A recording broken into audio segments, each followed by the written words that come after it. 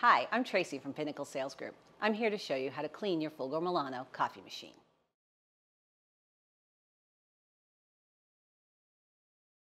When you're ready to start cleaning your Fulgor Milano coffee machine, here's what you need to do.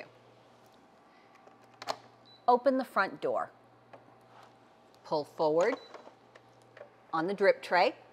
This will bring out the drip tray and the waste receptacle. You're going to empty the waste receptacle into the trash and you're going to dump out any water or grounds that are in the drip tray. You're going to remove the hot water spigot.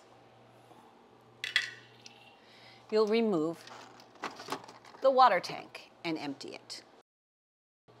In addition, if you've used the foamer, you're going to open the foamer, taking off the top and removing the straw. Wipe down the inside of your Fulgor Milano coffee machine and put all the items in your dishwasher, running them on a normal cycle, and then reassemble.